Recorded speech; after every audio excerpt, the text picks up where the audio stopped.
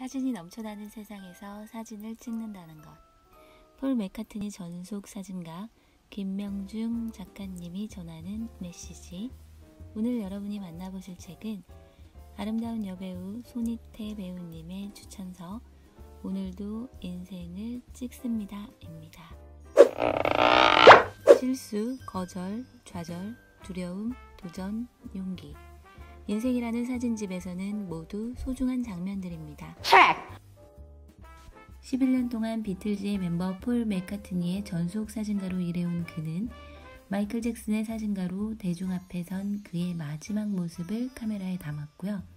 조니 뎁, 나탈리 포트만, 빅토리아 베컴, 클라우디아 쉬퍼, 무하마드 알리, 찰스 왕세자 등 세계적으로 유명한 인물들과 함께 촬영했죠.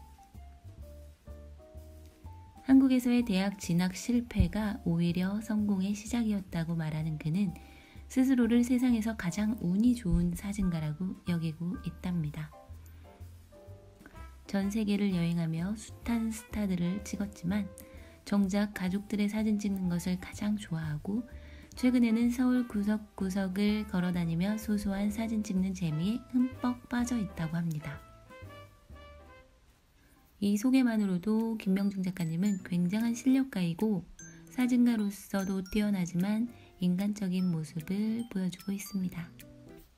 있는 그대로의 삶을 기록하고 있다면 당신도 사진가입니다.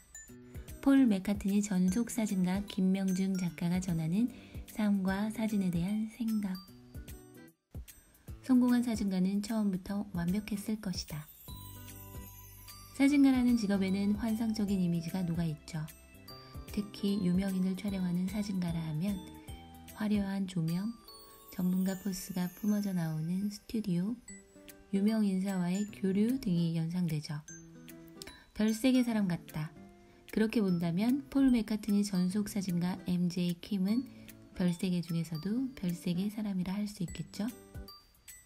하지만 오늘도 인생을 찍습니다는 별세계 사람이 아닌 실수투성이 평범한 사람이었던 MJ 킴이 어떻게 사진가가 될 수 있었는지를 이야기하고 있습니다. 그는 처음부터 사진가를 꿈꾸지도 않았을 뿐만 아니라 정식 사진 교육을 받은 적도 없다고 합니다. 출발선부터 달라야 한다며 고스펙을 강요하는 시대.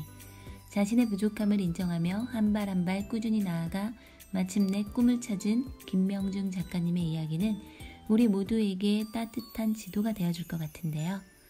오늘 인생서점에서 김명중 작가님의 오늘도 인생을 찍습니다. 함께 하셨고요.